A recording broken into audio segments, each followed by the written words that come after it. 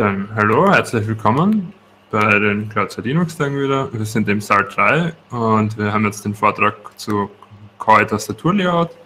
Ähm, ich werde den Talk moderieren und darf euch gleich den Chris, den Chris Pratl vorstellen. Der hat schon 2019 bei den Linux-Tagen zum Tastaturlayout Neo einen Vortrag mit dem Lukas zusammen gemacht. Und ich würde sagen, es gibt viele Leute, die verwenden das deutsche Tastaturlayout, dann vielleicht ein Programmierer noch ein paar, die aufs Englische gewechselt sind. Und dann gibt es so Leute wie Chris, die verwenden ganz, ganz andere Tastaturlayouts und glauben, das ist viel cooler. Und er wird uns jetzt erzählen, warum. Ähm, organisatorisch nur, ich werde im IRC eure Fragen entgegennehmen und die am Ende stellen. Äh, genau, also falls Fragen auftauchen, einfach direkt schreiben im IRC, ich werde die dann sammeln. Äh, passt, dann zu dir, Chris. Danke, Jakob. Ähm, ja, hallo von mir, leider heuer nur digital. Ähm, das der Jakob hat ich schon gesagt, ich habe äh, im 2019 bei den Grazer Linux-Tagen mit dem Lukas vorgetragen und darf jetzt mein Update geben, wie ich weitergemacht habe mit, mit der Tastatur. Kurz zu mir, wer bin ich? Ich bin der Chris Pratl, ich bin Mathematikstudent, ich bin inzwischen Linux-Tage-Organisator geworden, ich bin zeitweise ähm, ein Teilzeit-Softwareentwickler, ich bin Pianist und wahrscheinlich für den Talk halt das Relevante, ich beschäftige mich mit Tastaturlayouts und insbesondere mit Neo und Abstammungen davon. Ähm, wo waren wir? Wer den Talk von, von uns, von Lukas und mir letztes Mal nicht gesehen hat, wir haben über Neo gesprochen. Ähm, ich habe Neo über Lukas kennengelernt, ähm, dann lieben gelernt und schlussendlich in meinen Alltag integriert und ausschließlich mit Neo getippt. Ähm, kurz zur Erklärung, was ist Neo eigentlich? Es ist ein Tastaturlayout. Wenn ihr auf eure Tastatur schaut, dann steht da links oben ein Q, dann ein W, dann ein E, dann ein R und dann ein T und dann je nachdem ein Y oder ein Z. Ähm, das ist das übliche, sagen wir mal, QWERTY-Tastaturlayout. Entstanden ist das mit der Schreibmaschine und durch die Schreibmaschine. Ein schlauer Amerikaner, dessen Namen ich mir eh nicht merken kann und den ich euch auch nicht erzählen möchte, ähm, hat, das, hat, sie, hat das entwickelt. Und und zeitgleich aber auch bereits, also auch dieser, der Typ, der, Neo, äh, der QWERTY entwickelt hat, hat bereits über ergonomische Tastaturlayouts nachgedacht und selbst auch bereits ein ergonomisches Tastaturlayout, also quasi eins, das besser ist als, als QWERTY entwickelt. Das hat sich nur leider quasi nicht durchgesetzt. Ähm, bekannt ist vielleicht noch, zumindest eher als Neo, ist Dvorak. Das ist eine auf die englische Sprache optimierte Variante eines, ähm, eines ergonomischeren Tastaturlayouts. Und im deutschen Sprachraum sind vor ungefähr, ist vor ungefähr zehn Jahren Neo entstanden. Ähm, kurz zur Erklärung, ihr seht da hier die Neo-Tastatur. Ähm, was ist anders als bei euch? Links oben ist nicht das Q, sondern das X. Äh, konkret ein wichtiger Unterschied ist, dass ihr seht auf der linken Seite, auf der Hauptreihe, das heißt in der Mitte, habt ihr U, I, A, E und O. Das heißt, die, die Vokale habt ihr direkt in der Hauptreihe, sodass sie schnell erreichbar sind.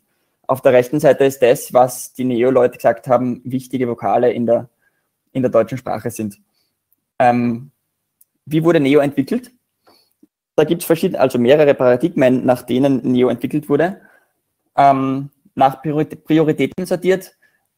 Wichtig ist, ähm, auf der Grundlinie schreibt man am schnellsten. Das heißt, da muss man die Finger nicht bewegen, da ist man am schnellsten. Darum alle, die, die am wichtigsten Buchstaben kommen auf die Grundlinie. Äh, der zweite Punkt sind Bigramme bzw. Trigramme oder insgesamt ähm, Trommelabläufe. Sowas im Deutschen wäre das zum Beispiel CH oder CK oder auch SCH, also Buchstabenkombinationen, die häufig getippt werden. Die sollen auf beide Hände verteilt werden, beziehungsweise wenn das nicht funktioniert, dann sollen die Trommelabläufe von innen nach außen gehen. Das heißt zuerst der Zeigefinger, dann der Mittelfinger, dann der Ringfinger und dann der kleine Finger quasi. Ähm, die inneren Finger, also der Zeigefinger und der Mittelfinger, die können größere Last ertragen und sollen darum auch größere Last kriegen. Das Layout ist, soll für Rechtshänder ausgerichtet sein, weil der große Teil der, der Bevölkerung bzw. der Nutzerschaft halb Rechtshänder ist, vermutlich. Und es gibt noch jede Menge mehr. Ihr seht da unten den Link, wer sich anschauen will. Ähm, ja. Wie schaut jetzt Neo konkret aus? Ihr habt schon gesehen, die erste, die erste Ebene. Auf QWERTY habt ihr auch die zweite Ebene, das ist das, wo ihr die Großbuchstaben schreibt. Das heißt, wenn ihr ähm, auf Shift drückt, dann kommt auf einer Taste was anderes raus. Neo hat dieses Ebenenprinzip ein bisschen erweitert und hat insgesamt sechs Ebenen. Die erste und zweite sind ziemlich genau so, wie ihr es euch vorstellt, nämlich die erste sind die Kleinbuchstaben und die große ist die Shift-Ebene, das heißt ähm, Großbuchstaben. Spannend wird es auf der dritten Ebene. Ähm, da haben wir direkt im Hauptfeld, ihr seht sie da hier rechts, das obere der beiden, ähm, ähm, der beiden Bilder, da haben wir direkt alle Sonderzeichen, die zum Programmieren gebraucht werden. Ein wunderschönes Beispiel, wenn ihr auf einer QWERTZ-Tastatur, also auf einer deutschen Tastatur, den Backslash sucht, dann braucht ihr das Alternative Graphics und dann rechts oben das scharfe S, um den Backslash zu erzeugen. Auf Neo haben wir in der dritten Ebene ganz links unter dem kleinen Finger den Backslash. Das heißt, ich muss meine Hand nicht mal bewegen. Ich muss nur die Mode 3-Taste drücken. Ähm, Ebene 4, die ist da hier leider ein bisschen unschön gerendert. Ähm, was haben wir da? Wir haben auf der rechten Seite den Ziffernblock. Ähm, das heißt, alle, die eine Tastatur mit Ziffernblock rechts daneben nutzen, ich mache das auch. Ich liebe den Ziffernblock, aber ich bewege meine Hand dafür nicht. Auf der linken Seite haben wir Steuerzeichen. In der Mitte sind die Pfeiltasten. Ähm, darüber ist links ein, ähm, ein Backspace, also ein Löschen, äh, Zeichen löschen und auf der rechten Seite davon ist ähm, Delete, das heißt ja. Darunter haben wir noch Enter und Escape und zurück, also rückgängig und Bild auf, Bild ab, also alles, was man Steuerzeichen so brauchen kann. Auch das ist einfach unglaublich angenehm, weil die Steuerzeichen liegen auf normalen Tastaturen alle seitlich irgendwo am Rand. Ähm, ich habe sie alle im Hauptfeld und muss meine Hand quasi nicht bewegen, um sie zu nutzen. Warum mache ich das? Warum lerne ich das überhaupt? Das hat der Jakob eh auch kurz angesprochen. Ähm, ich bin da sicher sehr einsam damit. In erster Linie habe ich Begeisterung vom Lukas übernommen. Der Lukas hat das, das habe ich eh erzählt im letzten Talk auch. Der Lukas hat damit getippt und war sehr langsam damit. Inzwischen ist er, glaube ich, nicht mehr so langsam damit. Ähm, und mir hat gefallen und ich habe beschlossen, das gönne ich mir auch, das schaue ich mir auch an. Ganz wichtig, das habe ich aber erst im Nachhinein festgestellt, dass das so ist eigentlich. Ähm, Ergonomie. Ich weiß, dass ich, oder ich tippe momentan wahnsinnig viel. Ich weiß, dass arbeitsmäßig der Computer und damit die Tastatur mein Werkzeug sein wird. Und damit ist Ergonomie sehr wichtig. Und wenn Neo sagt, die Ergonomie, oder wenn, wenn ein Tastaturlayout sagt, die Ergonomie ist besser als bei, ähm, als bei, bei QWERTY, beim Standard quasi, dann ist das sicher ähm, sinnvoll. Ja, und abgesehen davon, generelles Interesse, mich haben schon damals Tastaturlayouts interessiert, beziehungsweise alternative Eingabenmethoden. Ähm, und schlussendlich, ich war Studenten mit auf Art und ich habe ein Projekt gesucht. Ähm, okay, wo sind wir jetzt? Kurze Geschichte aus einem Studium. Ich war dabei, für eine Prüfung zu lernen. Das heißt, ich war wahnsinnig beschäftigt. Ähm, und zu diesem Zeitpunkt habe ich festgestellt, dass die, die Neo-Website, also das Neo-Tastatur-Layout hat eine eigene Website und die wurde erneuert und ist zu diesem Zeitpunkt gerade vollkommen neu online gegangen. Ähm, und nachdem ich beschäftigt war und lernen musste, und was macht ein braver Student, wenn er viel lernen muss? Er prokrastiniert. Ich habe also die gesamte Website-Korrektur gelesen. Und in diesem Zusammenhang bin ich auf, auf Weiterentwicklungen von Neo gestoßen. Ähm, Davon gibt es eine ganze Menge, weil die Neo-Entwickler an sich gesagt haben, dass das Layout ist eigentlich fertig und wir entwickeln es nicht mehr weiter. Auch im Sinne einer, einer Nutzerfreundlichkeit, dass da nicht ständig was Neues kommt. Ähm, das heißt, das Layout an sich verändert sich nicht mehr, nur noch die, die, die, die Technik dahinter. Und Neo ist aber nicht perfekt, weil es das noch nicht gibt, soweit wir wissen, ein perfektes Tastaturlayout. Und darum ähm, gibt es Ableger davon. Und einer dieser Ableger heißt aus der Neo-Welt und ein Ableger von aus der Neo-Welt heißt Koi und das ist mein Tastaturlayout, das ich jetzt aktuell nutze. Was ist Koi? Ähm, wie gesagt, eben quasi ein, ein Ableger, vielleicht auf, auf IT-Deutsch würde man eher sagen ein Fork von Neo. Ähm, ich habe wieder das, das, das Layout da hier ähm, ähm, drauf dann. Es ändert sich jetzt zu Neo nicht mehr so viel wie von QWERTY zu Neo. Ähm, wir haben immer noch auf der linken Seite fast alle Vokale auf der Hauptreihe. Auf der Hauptreihe. Das O ist nach oben gerutscht. Ähm, und ansonsten haben wir einfach wieder eine neue Zuteilung. Wir haben die, also es wurden die Paradigmen von, von Neo wurden zu einem relativ großen Teil übernommen, nämlich in erster Linie halt viel genutzte Zeichen sollen gut liegen, Tastenkombinationen wollen wir gut tippen können, die häufig getippt werden. Ähm, Entschuldigung. Und es wurde aber quasi weniger auf, auf Qualität mit, mit QWERTY geachtet, was ihr da hier seht, was bei Neo nicht so war. Wir haben den Punkt und den Beistrich da links oben und nicht so, wie es bei QWERTY ist, ähm, ähm, rechts unten dort, wo bei Koi jetzt eigentlich das W und das M liegen. Ähm, woher kommt eigentlich der Name Koi? Ganz analog zu Neo habt ihr links oben k.o-y und nach dem Punkt und Beistrich so ein bisschen ähm, sperrig zum Aussprechen sind, ähm, nennt man es meistens Koi. Okay, der Rest ist von Neo übernommen beziehungsweise entsprechend adaptiert. Ähm, das heißt, wir haben natürlich auf der, auf der, auf der zweiten Ebene, auf der Shift-Ebene, wir haben das große K und der kleine K und nicht dort, wo es bei Neo war. Ansonsten die dritte und vierte Ebene, also die, die Sonderzeichen und auch die Steuerzeichen, sind eins zu eins von Neo übernommen. Die fünfte und sechste Ebene habe ich vorher vergessen, komme ich drauf. Da liegen in erster Linie so Mathematikzeichen ähm, und, und Zeichen, die man in wissenschaftlichen Arbeiten in technischen Bereichen braucht, also griechisches Alphabet und so Sachen. Auch die wurden in Koi fast eins zu eins übernommen, also im Sinne von das Beta liegt unter dem weichen B. Das heißt entsprechend schon adaptiert, aber generell ähm, sehr viel übernommen. Okay, jetzt stellt sich die Frage, wie habe ich gelernt?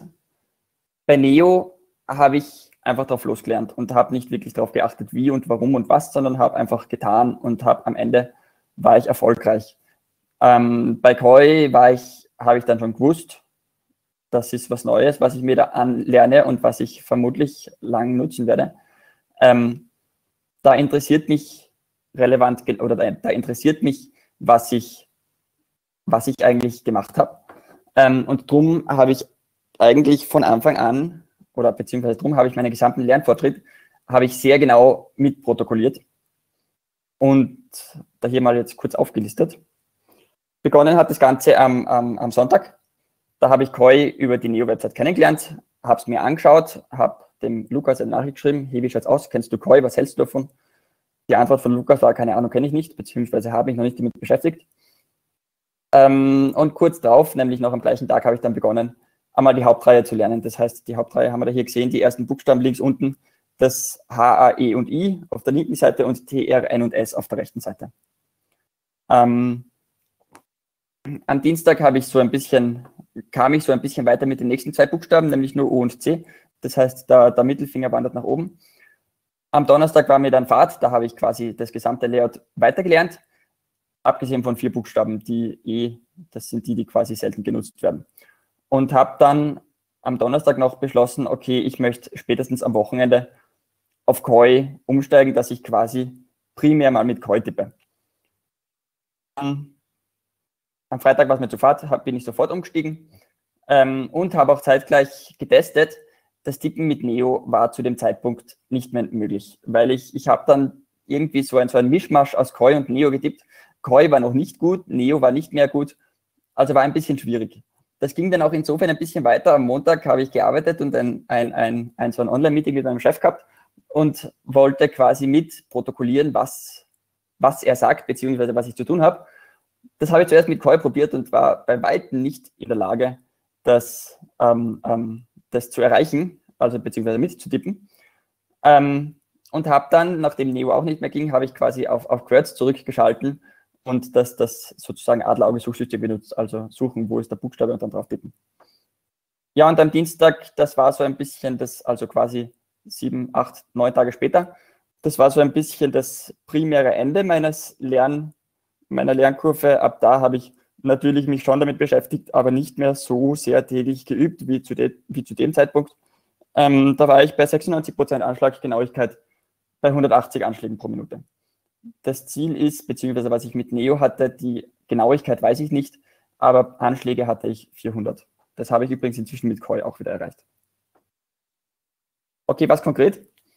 Ähm, bei Neo habe ich tip10.com genutzt. Das ist so eine, so eine Website, die ist, ihr werdet es kaum erraten, um Tastaturlayouts zu lernen. Und Tip 10 hat unter anderem Neo so im, im, im Repertoire und man kann es lernen. Ähm, war für Koi nicht möglich, weil Koi wird nicht angeboten. Ist eine Nische aus der Nische und das, das gibt es dort nicht. Ähm, es war früher mal, also ist schon ein bisschen her, war, war die, die der Quellcode von Typ 10 auch online als, als Open Source verfügbar. Ähm, da habe ich dann kurz drüber nachgedacht, das Ding einfach selbst zu hosten. Aber das war auch nicht sehr zielführend, weil der Quellcode einfach stark veraltet ist und das Ding inzwischen Closed Source ist.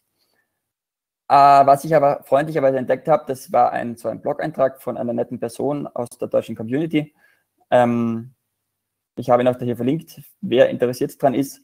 Und der hat in diesem Blog-Eintrag alles, was man braucht. Der hat Installationsanleitung, der hat mir die, oder der hat die K-Touch-Lektionen zur Verfügung gestellt. Und der hat auch, um dann quasi nach den K-Touch-Lektionen weiterzulernen, ein, ein Skript gebastelt, um eigene Lektionen für K-Touch zu erzeugen.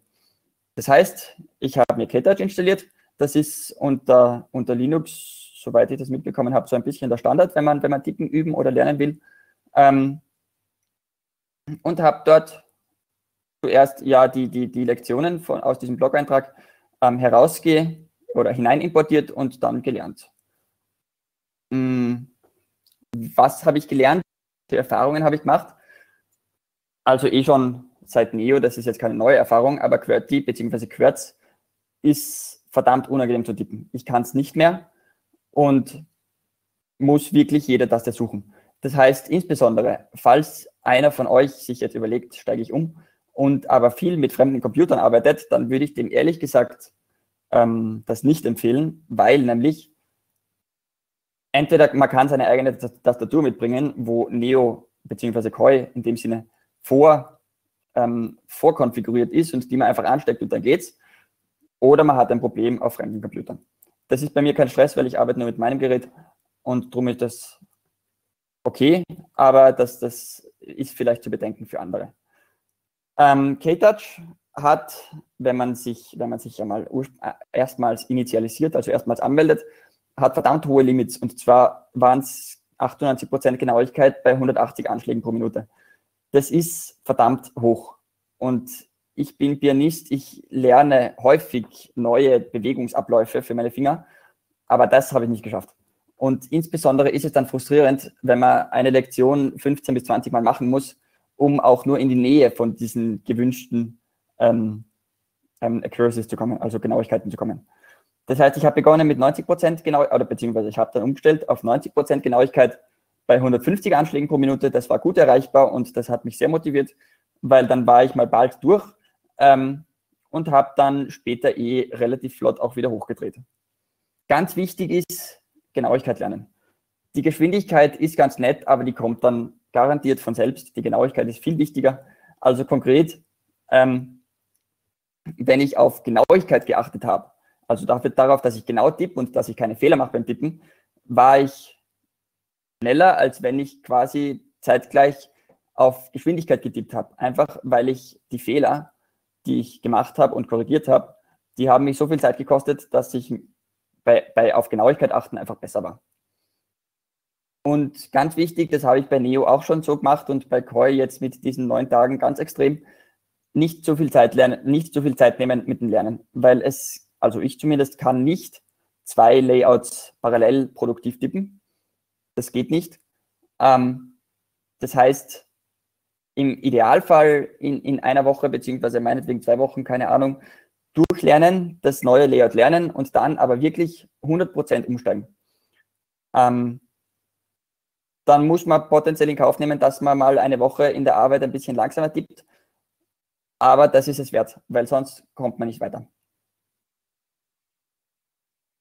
So, das war im Großen und Ganzen, was ich euch erzählen wollte. Ein kurzes Update. Wie geht es bei mir? Ähm, Koi ist super. Koi taugt mir voll. Koi taugt mir weitaus mehr als das Neo. Als Neo. Ähm, dabei bleibe ich, würde ich sagen. Aber das habe ich bei Neo auch so nicht so ganz explizit gesagt, aber gedacht schon irgendwie. Ähm, das heißt, keine Ahnung, momentan bin ich bei Koi und sobald ich was Besseres und Neueres entdecke und vielleicht eine, eine Weiterentwicklung davon, dann erzähle ich euch nächstes Jahr auch davon. Ähm, und jetzt so an sich, ich bin hier fertig. Ich danke für eure Aufmerksamkeit und ich bin für Fragen jetzt noch kurz über BigBlue, also beziehungsweise über den Jakob und über den IRC-Chat verfügbar und dann voraussichtlich später auch noch den, ähm, den ganzen Nachmittag über IRC. Dankeschön. Ja, vielen Dank, Chris. Ähm, es gibt schon eine Frage, die will ich dir mal stellen. Und zwar, ähm, wie stark bricht deine Tippgeschwindigkeit ein, wenn du andere, bei, an anderen Maschinen arbeitest mit normalen Tastaturlayout Mhm. Ja, normal unter Anführungszeichen, in vermutlich ja. QWERTY oder QWERTY, QWERTY. Mhm. genau. Ähm, Ehrlich gesagt, keine Ahnung, ich habe es nicht probiert, aber ich weiß, dass ich das Zehn-Fingersystem mit dem ähm, alten Tastatur oder beziehungsweise mit dem anderen Tastaturlayout nicht mehr kann. Das heißt, ich muss wieder auf, auf, auf Suchsystem umsteigen und dementsprechend relevant langsamer. Wie viel es genau ist, kann ich nicht sagen. Okay, dann gleich weiter mit den nächsten Fragen. Ähm, Gibt es Nachteile, weil die Tastenshortcuts auf OS-Layout ausgelegt sind? Mhm. Das gibt es eindeutig ja. Äh, also konkretes Beispiel, das hat Neo noch besser gelöst. Ähm, Copy und Paste, also Ctrl C und Ctrl V, liegen bei Koi leider beide so, dass man es mit einer Hand nicht erreicht. Ähm, das heißt, da muss man sich entweder, Linux ist ja freundlich und, und erlaubt das, eigene Shortcuts basteln oder damit leben. Beziehungsweise ich habe es auch so, dass ich jetzt meine eigene Tastatur habe und auf der habe ich mir meine, meine Shortcuts entsprechend eingerichtet. Die tippe ich auf der Tastatur und die werden bereits ans Betriebssystem als Ctrl-C und Ctrl-V übergeben. Okay, äh, ich werde ja mehrere Fragen zusammenfassen. Ähm, erstens gibt es eine Legende der vielen grafischen Tastenzeichen, wie Page Up, Page Down, Post 1. Äh, und zweitens hast du auch mal über ergonomische Hardware-Tastaturen nachgedacht, hauptsächlich mal ortholineare. Ja, also die Tastatur, die ich jetzt nutze, das ist eine Matrix-Tastatur, das heißt eindeutig ja, was, was die Hardware angeht. Ähm, und übrigens auch zweigeteilt. Ähm, und die zweite Frage war eine, eine, eine, wie, wie hättest du gern? Eine Legende der einzelnen Zeichen. Ich bringe mal da zurück. Wo sind sie? Hier. Ähm, generell äh, auf der Neo-Website, glaube ich, gibt es irgendwo eine Legende. Ehrlich gesagt kann ich aber auch das nicht wirklich beantworten. Es ist da hier relativ, es, es, es ist im Grunde eigentlich intuitiv. Wir haben äh, links Backspace und rechts Delete und links davon haben wir Page Up und rechts davon haben wir Page Down. Und in der, in der mittleren Zeile haben wir die Pfeiltasten und dann haben wir links, ähm, ähm, wie heißt denn das, Zeilenanfang und rechts von den Pfeiltasten haben wir Zeilenende, wo ich jetzt die englischen Begriffe nicht weiß. Und in der untersten Zeile ist es eigentlich eh recht verständlich. Wir haben zuerst das Escape, dann haben wir Tab, dann haben wir Insert, dann haben wir Enter und, und rück, rückgängig machen. Das heißt, insbesondere lernt man sehr schnell, wenn man sich mal damit beschäftigt und sie nutzt, die Tasten, dann lernt man schnell. Ähm, und dementsprechend kann ich nicht sagen.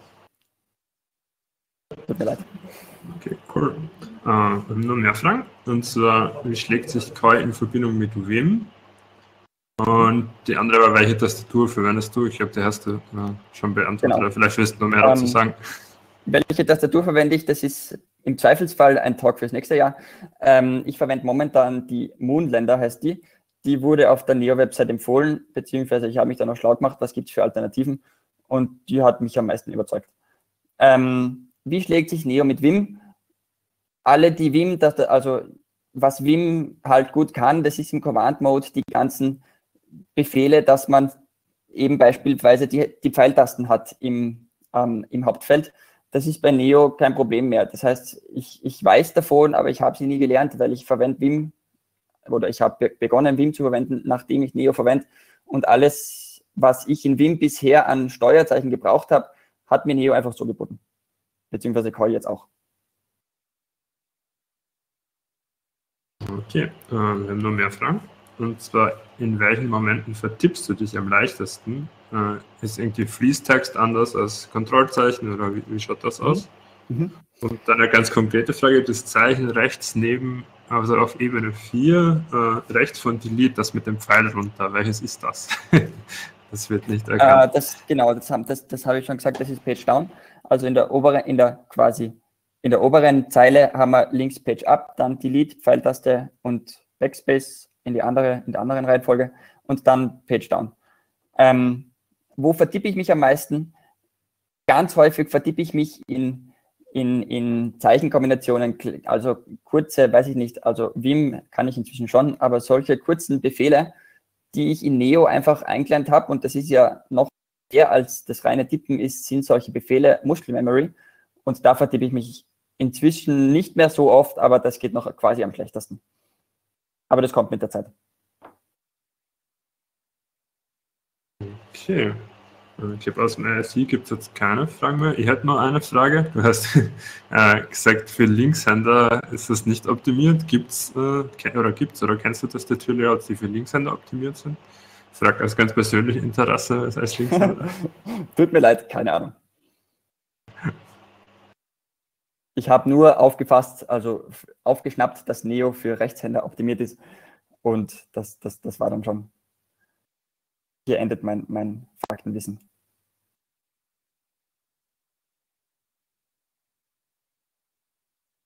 Bin ich noch online? Okay, ähm, ja. ich glaube schon. Ich glaube, meine Kamera mhm. sieht man leider nicht mehr. Ja. Ähm, aber ich würde auch das jetzt ähm, beenden und nochmal vielen Dank sagen. Und ich glaube, wenn noch konkrete Nachfragen sind, eben du bist im IRC noch verfügbar. Genau so ist es. Ich bin den ganzen Tag erreichbar. Ähm, danke für eure Aufmerksamkeit.